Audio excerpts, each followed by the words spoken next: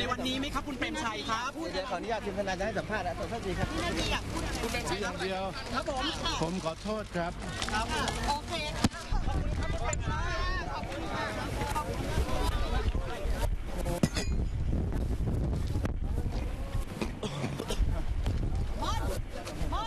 ประกาศชื่อแหลมสุพนันใช่ไหม